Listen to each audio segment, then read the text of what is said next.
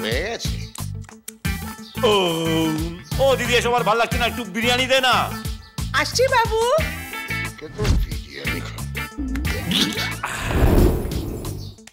আরে already half dozen ডিম খেয়ে ফেলেছে ডিম দিও না আর। আরও কটা খা। তুই কেমন দুর্বল হয়ে যাচ্ছিস দেখছিস না? রমলা তোমার ভাইকে আর ডিম খাইও না। তারপর দেখবে ওই মোরগ ঝুটি কাল সকালবেলায় ককর ককর ককর ককর করে কথা কম। যা দিচ্ছি মুখ বুঝে খাও।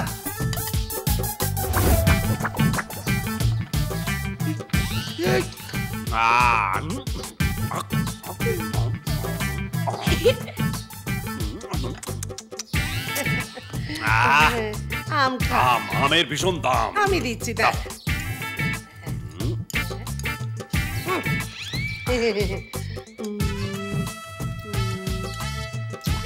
কি হলো এটা? ওটা ওই খা আমি সকাল থেকে রাত অবধি খাটি। ওর বেলায় আম আর আমার বেলায় আটি। ওর বেলায় মাংস আমার বেলায় ভাত। ওর বেলায় ডিম আমার বেলায় রাত। ওরম করছ কেন? ওকে পুলিশ হতে হবে না? খেয়ে দিয়ে একেবারে ছাতি চড়া করতে হবে না? খাও বাবা খাও। বাবা মা ছাতি বানানোর কথা বলেছে। পুরি নয়। তুই খা। জয়বাবু একটা কাজ করলেই তো হয়। আমাকে পুলিশে ভর্তি করে দাও সব প্রবলেম সলভ অত সহজ নয় বাবু। তোমার মতো একজন মাকাল ফল পুলিশ হতে হলে না তাহলে একটা পুলিশকে জায়গা ছাড়তে হয় আর তার জন্য একটা পুলিশকে মরতে হয়। কি ব্যাপার? তোমরা সবাই মিলে আমার দিকে এভাবে তাকিয়ে আছো কেন? হ্যাঁ তুমি এটুকু করতে পারবে না বলো। আমার শোনা ভাইটার জন্য তুমি একটু মুচুও পারবে না। এখানে তুমি বউ না? সাদা শাড়ি পরার জন্য একবারে উত্তলা হয়ে উঠেছো? আসতে পারি। কিরে? এসেই তো পড়েছো। কে তুমি মদন? মদন নই পল্লব পাশের বাড়ি। দাদা দুটো রুটি আর একটু চিনি হবে। প্রচণ্ড খিদে পেয়েছে। চার দিন ধরে কিছু খেতে পাইনি। পল্লু এই পল্লু!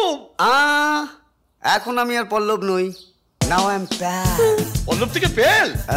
ভাগ্যিস বাবা মা বল্লভ নাম রাখেনি তাহলে বল্লভ থেকে বেল হয়ে যেত আরে এ তো পুরো কেস হ্যাঁ? আগে ছিল হনুমান এখন হয়ে গেছে সলমান।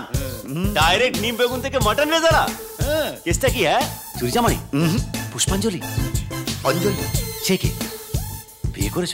বড় লোক শ্বশুর আংটি? জাগ্রত দেবী এই অঞ্জলি। ওনার এই এক আংটি পারে বারুইপুরকে সিঙ্গাপুর বানিয়ে দিতে। ওরা কয়লাকে জুই চাওলা বানিয়ে দিতে। ওনার আংটি তো আমার জীবনটাকে সম্পূর্ণ বদলে দিল। কাণ্ড? তোমার এই একটা খবরে তো আমার জীবনটা পাল্টে গিয়ে সাল্টে গেল!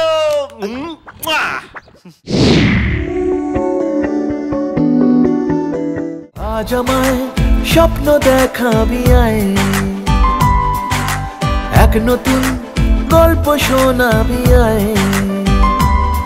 তুই মিশে যা আমার কল্পনায়। তুই মিলে যা আমার গল্পটায়।